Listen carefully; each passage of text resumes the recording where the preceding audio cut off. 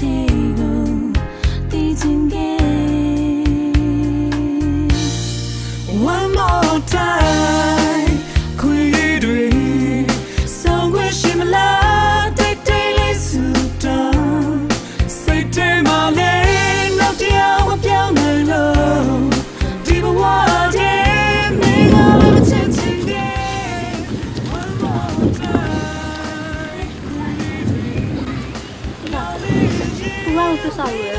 မောင်လိုက်ရှာကြတယ်။ကျောင်းလည်းမတက်ဘူး။အိမ်မှာလည်းမရှိဘူး။ဖုန်းလည်းပိတ်ထားတယ်တဲ့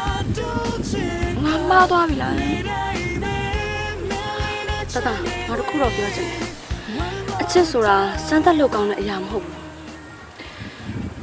သူကတော့ဘယ်လောက်ချစ်တယ်ဆိုတာငါသိချင်တာဟုတ်ဟာ။ပသားရဲ့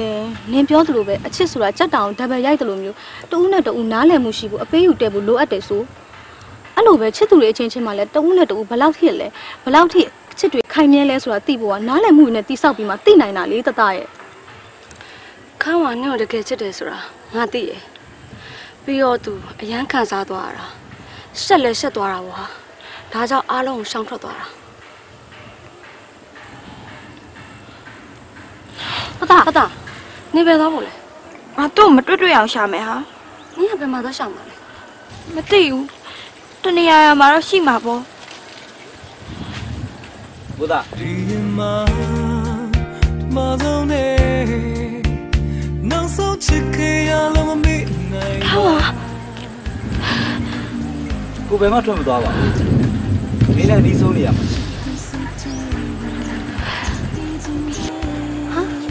ခန်းဝါကေးခုတ်ထားတာပဲ။အပင်တူလေးနဲ့ချစ်စရာလေးနော်လို့လေ ကိုစပင်းတို့နဲ့လိုက်ရလား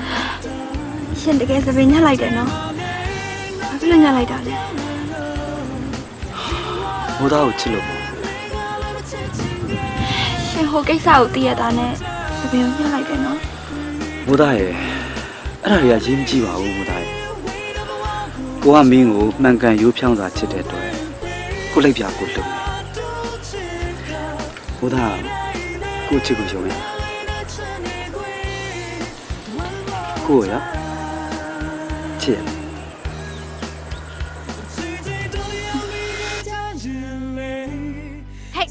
ဟေးဟေးဟေးကျောင်းဝင်းတော့မှာဒါမျိုးမလုပ်အောင်နော်